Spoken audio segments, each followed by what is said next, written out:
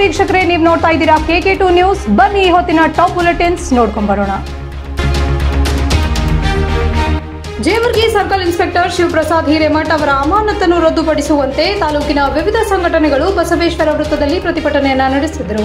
ಈ ಪ್ರತಿಭಟನೆಯಲ್ಲಿ ಕೃಷಿ ಸಮಾಜ, ನವದೆಹಲಿ ರಾಜ್ಯ ಉಪಾಧ್ಯಕ್ಷ, ದಲಿತ ಮುಖಂಡರು ಹಾಗೂ ವಿವಿಧ ಸಂಘಟನೆ ಮುಖಂಡರು ಈ ಪ್ರತಿಭಟನೆಯಲ್ಲಿ ಉಪಸ್ಥಿತರಿದ್ದರು. ಬಲಕುಂದಿ ತಾಂಡಾ ಶಾಲೆಯಲ್ಲಿ ರಾಷ್ಟ್ರೀಯ ಪೋಷಣಾ ಮಾಸಾಚರಣೆ ಕಾರ್ಯಕ್ರಮ, ಸರ್ಕಾರಿ ಮಾದರಿ ಪ್ರಾಥಮಿಕ ಶಾಲೆ ಬಲಕುಂದಿ ತಾಂಡಾ ಶಾಲೆಯಲ್ಲಿ ಎರಡ್ ಸಾವಿರದ ಇಪ್ಪತ್ತೆರಡನೇ ಸಾಲಿನ ರಾಷ್ಟ್ರೀಯ ಪೋಷಣಾ ಮಾಸಾಚರಣೆ ಕಾರ್ಯಕ್ರಮ ಜರುಗಿತು.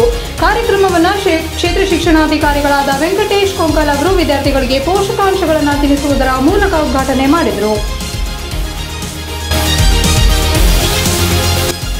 ಎಸ್ಆರ್ ಕಂಠಿ ಶಿಕ್ಷಣ ಮಹಾವಿದ್ಯಾಲಯದಲ್ಲಿ ಶಿಕ್ಷಣದಲ್ಲಿ ರಂಗಕಲೆ ತರಬೇತಿ ಶಿಬಿರ, ಎಸ್ಆರ್ ಕಂಠಿ ಶಿಕ್ಷಣ ಮಹಾವಿದ್ಯಾಲಯ ಇರ್ಕಲ್ನಲ್ಲಿ ಶಿಕ್ಷಣದಲ್ಲಿ ರಂಗಕಲೆ ತರಬೇತಿ ಶಿಬಿರವನ್ನ ಸಸಿಗೆ ನೀರು ಹಾಕುವುದರ ಮೂಲಕ ಉದ್ಘಾಟನೆಯನ್ನ ಹಿರಿಯ ರಂಗಭೂಮಿ ಸಂಘಟಕ, ನಟ ನಿರ್ದೇಶಕ, ವಚನ ಸಾಹಿತ್ಯ ಪರಿಷತ್ ವಿಭಾಗ ಮಟ್ಟದ ಸಂಚಾಲಕ ಮಹಾಂತೇಶ್, ಗಜೇಂದ್ರಗಢ ತರಬೇತಿದಾರರಾಗಿ ಆಗಮಿಸಿ ಉದ್ಘಾಟನೆ ಮಾಡಿದರು.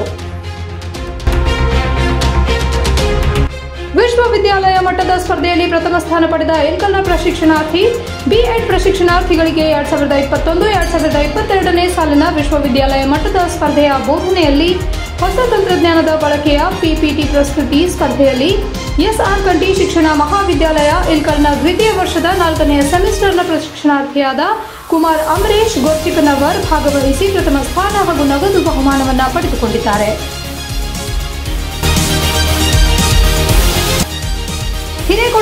ಪ್ರಾಥಮಿಕ ಶಾಲೆಯಲ್ಲಿ ಶಾಲೆಗಳೆಡೆಗೆ ಸಾಹಿತ್ಯದ ನಡಿಗೆ ಕಾರ್ಯಕ್ರಮ.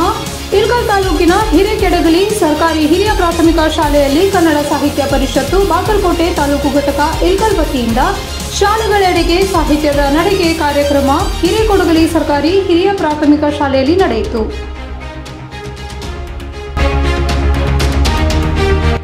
ಯುವ ವಿಕಾಸ ಸಂಘದ ವತಿಯಿಂದ ಹಮ್ಮಿಕೊಳ್ಳಲಾದ ನಾಡದೇವಿ ದಸರಾ ಉತ್ಸವ ಸಮಿತಿಯ ಅಧ್ಯಕ್ಷರ ಗೌರವ ಸನ್ಮಾನ ಸಮಾರಂಭದಲ್ಲಿ ಯುವ ವಿಕಾಸ ಸಂಘದ ಅಧ್ಯಕ್ಷರಾದ ಶ್ರೀಧರ್ ಬಿಜರ್ಗಿ, ಲೋಕಸಭಾ ಸದಸ್ಯ ರಮೇಶ್ ಜಿಗಜಿಣಗಿ ಹಾಗೂ ಸೋಮಲಿಂಗ್ ಮಹಾಸ್ವಾಮಿಗಳು ಮಹೇಶ್ ಒಡೆಯರ್ ಅವರಿಗೆ ಸನ್ಮಾನಿಸಿ ಆಶೀರ್ವಾದವನ್ನು ನೀಡಿದ್ದಾರೆ. ಇದಾಗಿತ್ತು ಈ ಹೊತ್ತಿನ ಟಾಪ್ ಬುಲೆಟಿನ್ಸ್. ಮತ್ತಷ್ಟು ಸುದ್ದಿಗಳಿಗಾಗಿ ನೋಡ್ತಾ ಇರಿ ನ್ಯೂಸ್.